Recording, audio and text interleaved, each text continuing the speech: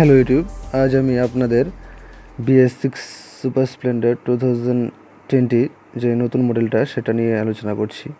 আমার eight month হয়ে গেছে এই BS six Super Splendor fuel injection যে এফআই এখনের যে সিস্টেমটা ওটাতে কোনো প্রবলেম এখন পর্যন্ত কোনো ধরা পড়েনি। আমি সঠিকভাবেই ঠিকঠাক চালিয়েছি এবং ঠিকঠাকভাবে সার্ভিসিং করিয়েছি তো আপনারাও করাবেন ঠিকঠাক।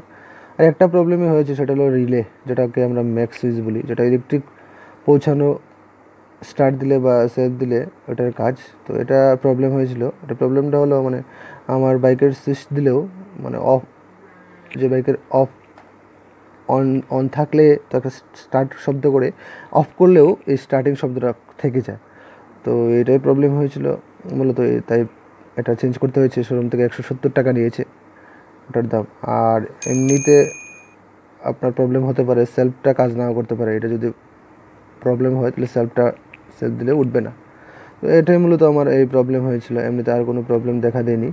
তো আপনারা বিএস সিক্স মডেলটা কিনতে পারেন। আর একটা কাজ করতে পারেন আপনার, এরকম একটা তুলির সিস্টেম যে পরিষ্কার করার জন্য নিজেরা একটা নিজেরা কিনে নেবেন বাজার থেকে, তাহলে ধরা পড়বে যে কোনো সমস্যা বাইকে কি আছে কি নেই।